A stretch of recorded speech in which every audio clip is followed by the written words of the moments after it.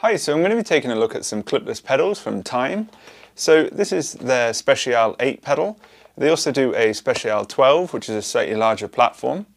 So I'm just going to quickly explain the reason I wanted to get these pedals was because over the last couple of years I've been trying to find a set of clipless pedals that meet the requirements that I need, which is that I'm actually looking for a clipless pedal that offers the ability to adjust the cleat tension because I like my cleats to be really tight and uh, secure and also that sheds mud pretty well because I ride in the UK and Scotland mostly and it can be a, a little bit problematic with the pedals um, clogging up. So I've been running a set of uh, Shimano M820 pedals and a set of uh, Nukeproof Horizon CL pedals which both effectively use SPD cleats. Both offer really good platforms. They have a really nice secure uh, clip in and clip out. You can actually uh, hear them and feel them as you step in and out of them.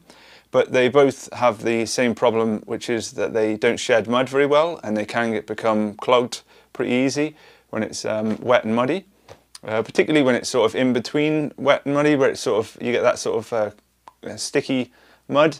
But uh, overall, nice pedals. But I say I'm looking for a bit more of a better clearing pedal. So I've also been using a set of, I think I've got them up here actually,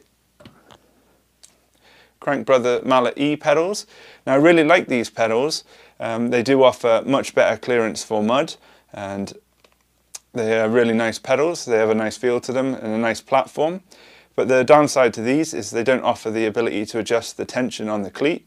So they can be a little bit vague when you're stepping in and out of them and they don't offer um, too much uh, feedback. So you can often find you're not sure whether you've clipped in or you've clipped out of them and you think you have and then your foot will come straight off the pedals. But uh, overall, nice pedals and they work well in the dry. But uh, say, I mainly ride in the uh, mud, so I was looking for a slightly different pedal. So that brings me on to the time pedals. So allegedly these are basically the Goldilocks. They're a nice compromise between the two. They offer the ability to adjust the cleat tension and they also offer some pretty good uh, mud shedding ability, allegedly. I've not tried them, but we'll see how they go. So what I'll do is I'll um, unbox these, show you what they actually look like in person, get them fitted on the bike, and then I'll offer my uh, opinion on the first couple of rides on them. So let's get started. So here's the pedals. So as you can see, I've got the orange version. They also do a black version of these as well. So just have a quick look around the box. So on the back, it just explains the way the cleats work. They've got another little name for them, which is ATAC, which is Auto Tension Adjustment Concept. I've always got to come up with some sort of crazy name.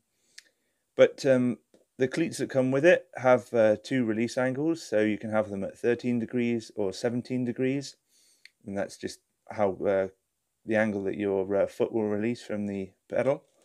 And they also do an easy cleat if you want one that uh, releases even quicker at 10 degrees. So let's get inside the box.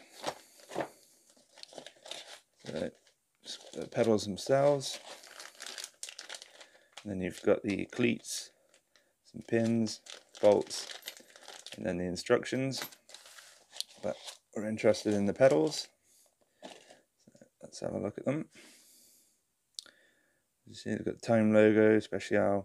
Is where you adjust the tension of the cleat.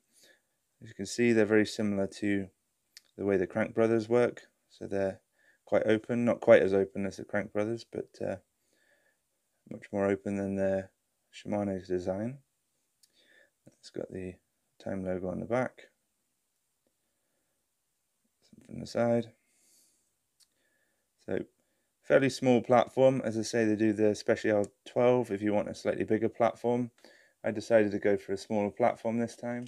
So a quick comparison with size. So here's the time and here's the Crank Brother Mallet E. You can see the platform is a little bit smaller and they're a little bit thicker.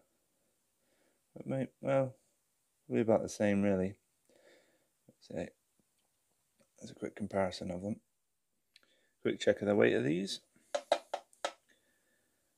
So 200 grams per pedal, or just under.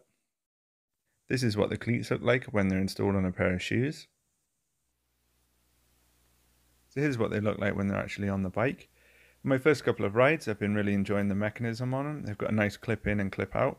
I've not had much chance to test out the uh, mud shedding ability of them, but uh, they seem like they should be good. So I'll just quickly show you what it's like to clip in and clip out of them.